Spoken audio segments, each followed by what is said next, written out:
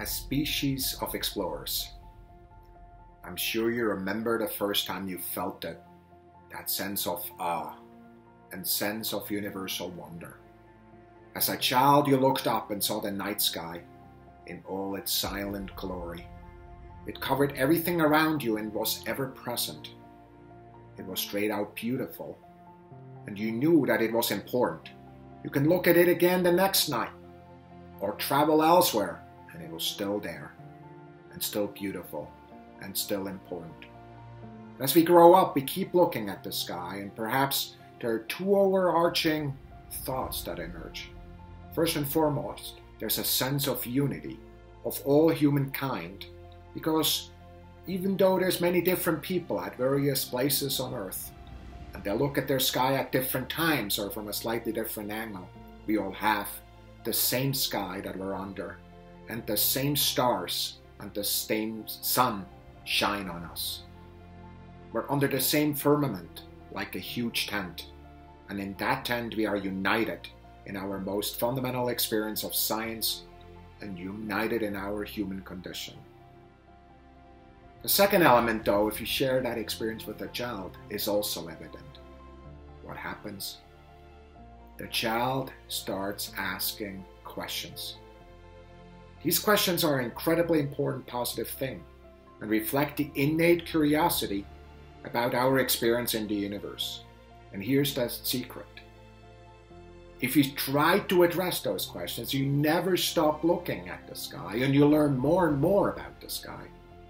The sky does not become less interesting, but more interesting, not less beautiful, but more stunning to all of us. The insights we get from science and telescope and robotic explorers enrich our view of the world in ways that we could not have predicted. We learn, for example, that the sky is nothing like the calm experience it pretends to be when we first look at it. This appearance is merely because of the mismatch of timescales of the change of the universe and our own lifetime. But stars are constantly being born and go through evolutionary histories and so often end in violent ends that are explosions that are seen throughout the entire universe. This is seen throughout, wherever we look. Many philosophers have thought about that experience of looking at the sky, that experience of exploration that underlies the questions, these childlike questions. But it's the words of a child that I'd like to repeat here words of a child from the Artemis generation.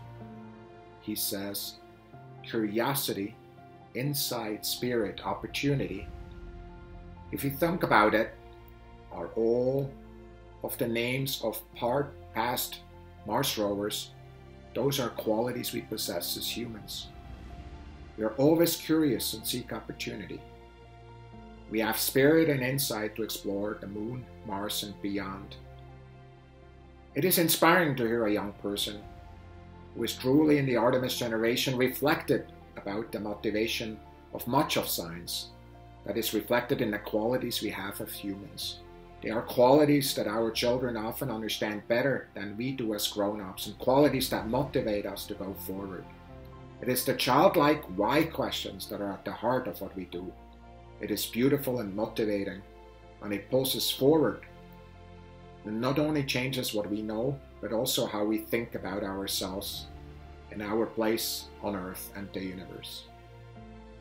I'm going to repeat one part curiosity, insight, spirit, opportunity.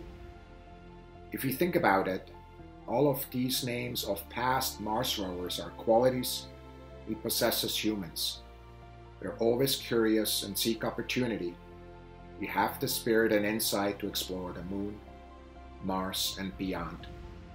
Curiosity, spirit, and opportunities have brought us a long way in many different elements of our experience.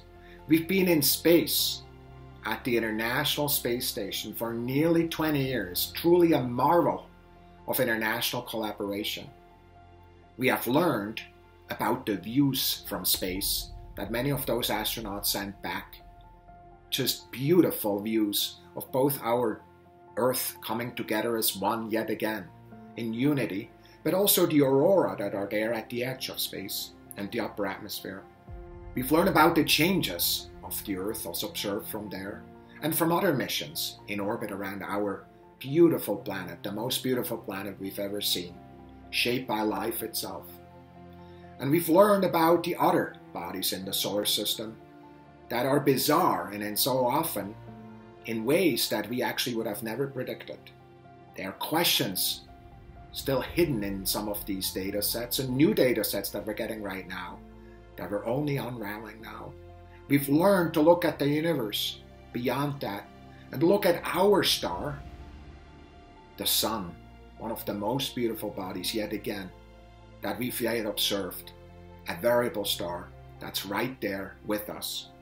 We have learned a lot because of spirit and opportunity. But we have done it because of one more quality that we haven't talked about. We have done it because of perseverance. Because wherever there is exploration, wherever there is opportunity, wherever there is a pull forward, a question, the only way that relates to success is through perseverance. This year we're celebrating anniversaries for both the Hubble Space Telescope but also of Apollo 13. The Hubble Space Telescope is the most magnificent telescope ever built by humans. Conceived by leaders like Lyman Spitzer and Nancy Grace Roman, this telescope was built with very tough challenges, both technically but also programmatically. And when it finally was launched and was released by astronauts into space, and the doors open and he took the first picture, there was a huge disappointment. The telescope had the wrong optics. It was short sighted and needed to be fixed. A disaster to many, a disappointment to everybody. But through perseverance, Hubble not only became the most successful astrophysics mission to date, but also the best demonstration of the confluence of mutual importance of science and human exploration.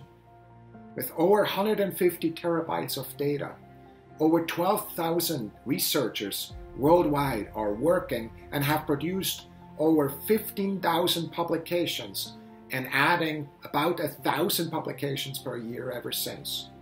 There has never been a space mission with the scientific impact. Remember that this was enabled by perseverance of those before us. Take Apollo 13 the same way. I'm sure everybody hoped that it would go as smoothly as Apollo 11 and Apollo 12 before that. But starting with the famous quote, Houston, we've had a problem. The Apollo spirit and sheer excellence of the integrated team on the ground and in space came together and brought Jim Lovell and his colleagues back safely. The trip was full of innovation, ambiguity, and fear as the crew members worked with Gene Kranz and his ground troops to really work out solutions and innovate in ways that had never been done before. What initially looked like the most deadly disaster in the history of space travel turned into a story of leadership, of teamwork, and of unquestioned strength and success. It was perseverance, not giving up under pressure, and when challenged, that got Apollo 13 back home. And that helped us be safer and accomplish the missions better the next time. Perseverance has always been part of exploration, and it forever will be. As I mentioned before, we are having big plans for NASA and our commercial international partners.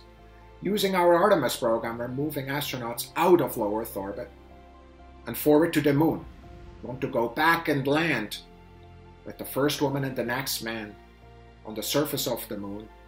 We want to establish a sustainable presence at the moon and then move forward to achieve a goal we've never achieved is to get astronauts to Mars.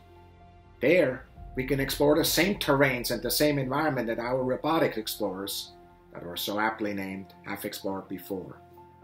Make no mistake, it will be hard to go to Mars or to the moon. It always is. Our next rover is aptly named because it takes perseverance to survive and go this distance in the rocket environment of Mars. And all of our human explorers face incredible challenges as well. I believe we were meant to explore, but doing so makes us first face some incredible obstacles. We can face those with science and with perseverance. Let me talk about two elements that are critical in this realm managing the dangers of space weather and sending science to lead the way for humans. We live in the atmosphere of a star, a G type star, like there are billions of them, both in this galaxy and elsewhere. A star that at its core is powered by nuclear fusion.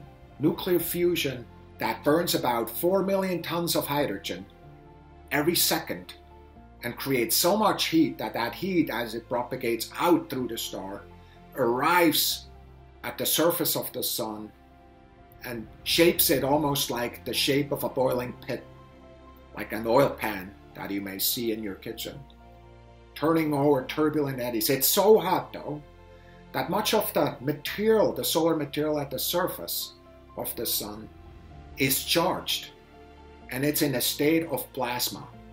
That state is very different than what we experience each and every day in our lives. But make no mistake, 99% of the entire universe in that shape of plasma. And in that state, that material is shaped not just by gas type of forces, but by electric forces, by magnetic forces that shape it and back react to the gas itself. That has a profound impact of how the sun appears. First of all, it makes it a variable star. A variable star in a timescale of about 11 years when the sun goes to a more active, to a more quiet uh, state, but on timescales of hours and minutes where energy in these fields can immediately discharge and flare up with very high brightness to call solar, to create solar flares. And those flares, of course, are part of another phenomenon, which is the ejection of large amounts of matter in so-called coronal mass ejections that get thrown into space all the way beyond the planets. What we don't observe so well, but is equally important or perhaps even more important, is that these ejections are interacting with the plasma, the solar wind that was already there, and are accelerating particles to very, very high speeds, nearly the speed of light. Those particles are not really hitting us here on Earth because we have such a thick atmosphere and also a magnetic field. But as we're leaving Earth and low Earth orbit, we're exposed to those particles. Now, here's the problem though. Most of those particles from these storms and the entire space environment are shaped in the solar atmosphere in a place called the corona. And we've never really observed that space, and certainly not the forces that shape it and the particles really close to it. But that's changing right now. As the Parker Solar Probe is getting closer and closer to our star and making measurements ever so close to this corona, this atmosphere of our star, and we're already learning new ways of looking at space weather.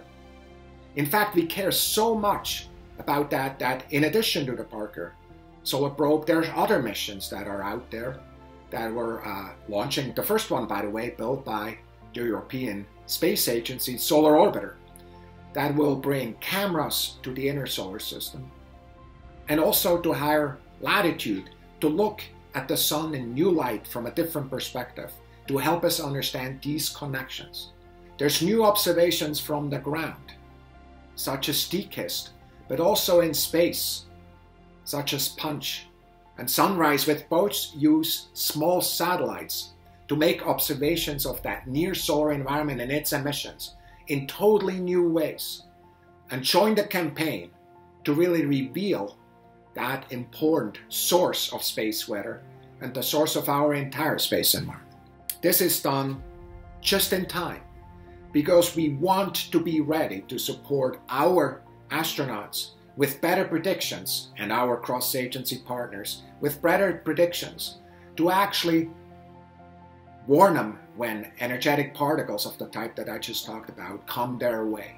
In fact, we care about it so much that as part of the Lunar Gateway, we are putting a package, a weather station, uh, onto the gateway and are making measurements. Uh, partner with the European Space Agency that put a whole radiation package on there, uh, just the same way.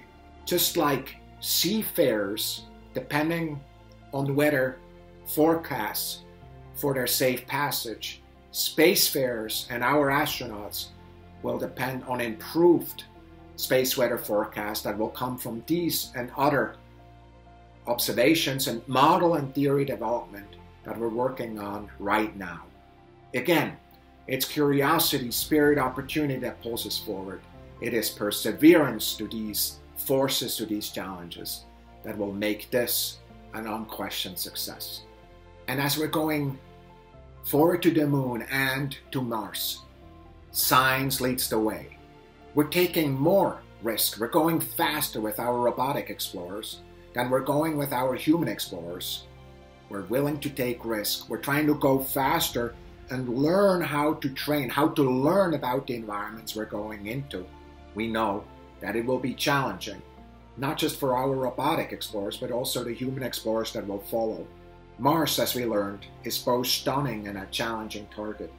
The fact is that nearly 50% of all Mars missions ever attempted by humans have failed. And it's one of the most difficult and challenging things ever achieved. Just with Apollo 13 and many moments in our history, we keep our cameras on during these moments, even though we know deeply about the risks that we're going to undertake that moment. We seek to achieve this goal again as we launch our next Mars mission this July.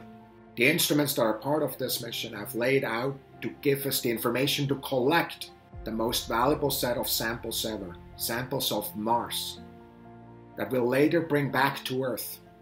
Samples that are addressing the very simple question about is there life elsewhere, a child might ask, related to Mars. This Mars mission is a true astrobiology mission, focused on the origins of, of life away from Earth and the conditions in which life might emerge. It has been hard to get this mission ready, and the team is hard at work right now. Who knew that we would see a virus as the highest risk to a timely launch of this mission, which last month was so aptly named Perseverance? NASA and its partners are doing everything possible to launch this mission on time because, just like the mission that will follow it, it is perseverance that will ultimately achieve the big goals that yet again change the history books. In 2026, we want to launch the uh, first mission back to Mars that is actually a launch vehicle, a launch vehicle that will lift these samples out of Mars and gets picked up by a European mission and together as an international partnership will bring the samples back to Earth for study. The most precious samples at that moment in time will have extraterrestrial samples to study questions of life and many beyond that. But right now, as we prepare the Mars 2020 mission to launch, we find that the core qualities of perseverance, so essential to this mission, are proving critical in these final weeks on Earth. And we will rely on this quality going forward knowing that we will have to successfully land and operate the Perseverance rover on the Martian surface. All missions face own obstacles, but we'll keep going to chart a new story of humanity on another planet and in space in ways we cannot even comprehend yet. That is the story of exploration and the seed of perseverance in which we all rely on. A seed that grew from a necessary question of hope, a question of curiosity, and it's a quality that ultimately will bring it to its successful conclusion perseverance. We are hopeful because the next generation who will complete this journey is inspiring. I've been using the words earlier in this talk from one of the students to frame this. In fact, it's Alex Mather, the 13 year old who named the Perseverance rover. And I will end this talk with his words words about how humanity will persevere through exploration and beyond in the future. Curiosity, insight, spirit, opportunity. If you think about it, all of these names of past Mars rovers are qualities we possess as humans. We are always curious and seek opportunity. We have the spirit and insight to explore the moon, Mars, and beyond. But if rovers are to be the qualities of us as a race, we miss the most important thing perseverance. We as humans evolved as creatures who could learn to adapt to any situation, no matter how harsh. We are a species of explorers, and we will meet many setbacks on the way to Mars. However, we can persevere. We, not as a nation, but as humans, will not give up.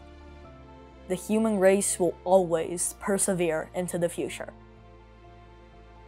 My name is Alexander Mather, and that's why I chose Perseverance as the name of NASA's next Mars rover. Don't you love this quote by Alex Mather? I certainly do. I love it very, very much. And as I'm sitting here, I'm thinking of all of you, and I'm wondering about your goals, your drive for exploration, or whatever drives you, and your stories of perseverance in it. Share those stories, share them with us, share them with others, because those stories are inspiring and are exactly part of what drives us going forward through exploration to places we've never gone before, to experience things we've never experienced before. Thank you so much.